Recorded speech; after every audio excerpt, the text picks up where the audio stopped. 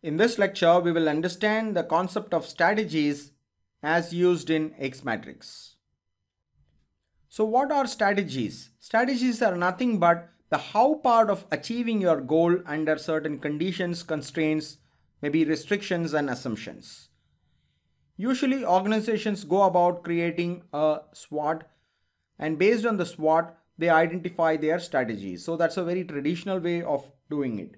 For example, you could map some of your strengths to an opportunity and thereby arrive at a strategy. There could also be other options like this.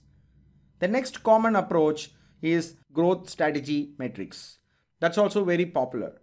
These days, people have a lot of prescriptive strategies. For example, disruptive approaches, which are recommended by people like C.K. Prahalad, by Gary Hamel. So there are a lot of thought leaders who have evolved various strategies which can be used by organizations. Like C.K. Prahalad's bottom of the pyramid could be one strategy that organizations could use to achieve growth and create market presence.